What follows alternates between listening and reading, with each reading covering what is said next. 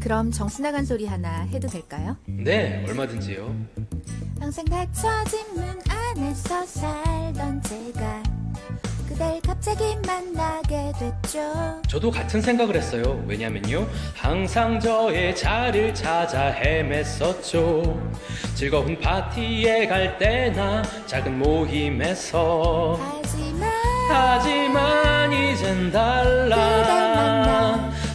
느껴보는 특별한 기분. 사랑은 열린 문. 사랑은 열린 문.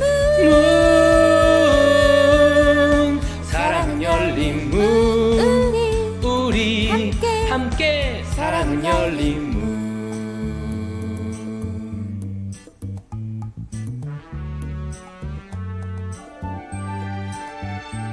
둘이서 함께 뭐요? 다 먹어볼까요? 샌드위치. 그만하려고 했는데. 나고 비슷한 사람은 처음이야. 약속 찌찌뽕 생각하는 게 같다는 건 한마디로 운명이야. 우리는 천생연분. 잘 가라. 잘 가라 지난 날 아픔들.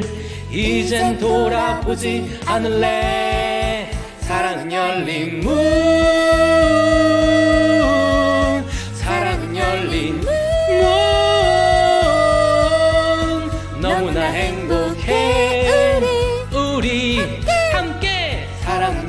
문 정신 나간 소리 해도 될까요? 저랑 결혼해 줄래요? 더 정신 나간 소리 해도 될까요? 좋아요.